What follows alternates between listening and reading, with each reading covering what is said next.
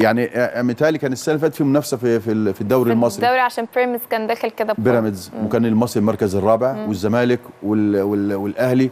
كان طعم حلو. السنة دي الأهلي في مكان والباقي في مكان تاني. يعني حتى كمان ال ال يعني الاتحاد 25 والمقاولين 29 سابقين الزمالك. آه. ف هو لسه بدري شو هو لسه بدري بس لكن أنا بقول لك بالمنطق الفني لا الأهلي بيأدي مباريات هايلة.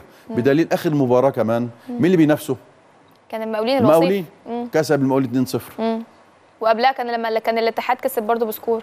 الله ينور عليك. وما لعب مع طنطا كسب في خمسة. 10 دقائق جاب 3 4 تجوان. في شكل وفي جملة.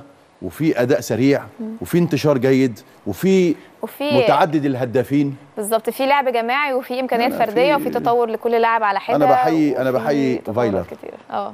مدرب النادي الأهلي. مميز آه. لأن حتى كنت سامع في مقارنة ما بين فايلر. ومانويل جوزيه.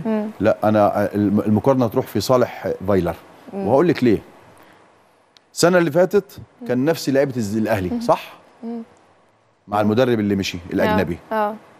والسنة دي هم هم هم مع مين مع فايلر. بالظبط هم كانوا مع لاسارتي هم هم مع اختلف فايلر و... اختلف في السرعة وفي الأداء وفي الشكل وفي المضمون الانسجام وفي كل التهديف حاجة. وفي ال... وعدم الفو... مرات الفوز العلامة الكاملة. آه آه آه. بص دخل دخل في مرمى كام؟ هدفين فقط أمام اسوان يعني لا يعني. الوضع مم. مختلف تماما.